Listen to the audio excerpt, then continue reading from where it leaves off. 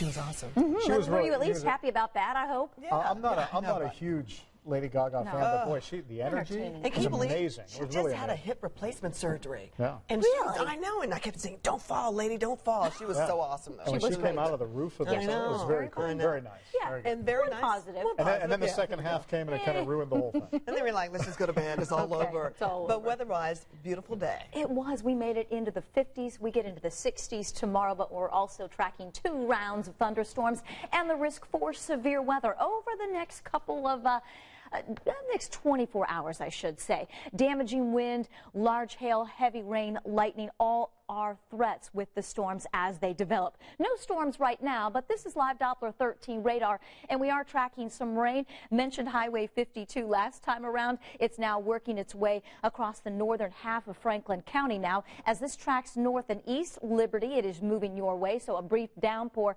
scattered showers around the Indianapolis area, and uh, a little bit of rain. Now, entering Anderson. So southern half of Madison County, provided this holds together, Muncie and Hartford City, some rain headed your way. And we are forecasting these to become more numerous over the next few hours. You can see the lens of our camera over downtown. Few drops on it, 48 degrees in the capital city. Winds are south southeast at 8 miles per hour.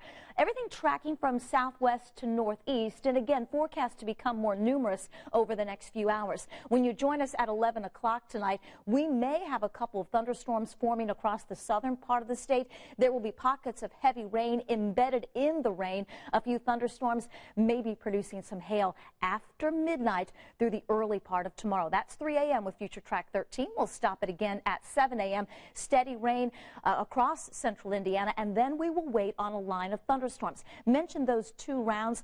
The first impacting central Indiana tonight with that risk for severe weather across the southwestern part of the state at a 2 for tonight. That expands and covers the southern half of the state during the day tomorrow. Your Tuesday planner temperatures in the upper 50s and low 60s, but we will be dealing with a line of storms.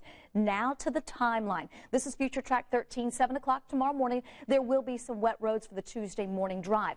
That line of storms starts to form mid morning. That's 9 a.m. A.m., then quickly makes its way into the central part of the state by midday. With this line of thunderstorms, heavy rain, lots of lightning, and maybe some damaging winds. Should clear the state by late afternoon, early evening.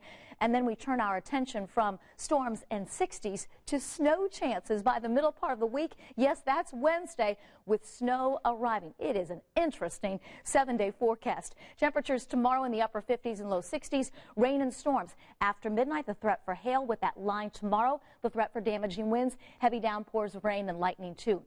Turns snowy with maybe some slushy accumulations on Wednesday 35 cold Thursday 28 but a rebound on the way for Friday and the upcoming weekend.